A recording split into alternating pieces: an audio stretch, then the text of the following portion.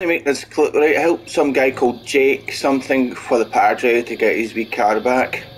And you get that mission and you have to get a car from Sixth Street Gang, after a while he'll phone you and you get this little sweet ride to just pulled out from the little garages. Just thought I should make a mention of that if you decide to look for a car like this. Nice little gold copper trims.